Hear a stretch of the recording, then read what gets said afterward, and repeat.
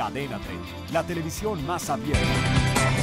Le platico que el secretario de Gobernación Miguel Ángel Osorio Chong anunció este viernes la creación de la Comisión Intersecretarial de Combate a la Violencia que contará con un presupuesto de 118 mil millones de pesos en programas coordinados entre dependencias federales.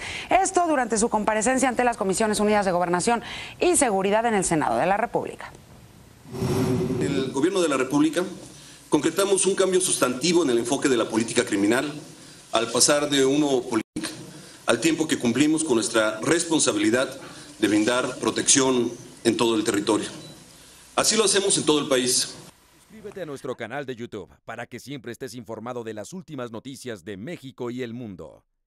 Empieza ahora mismo dándole clic a estos videos.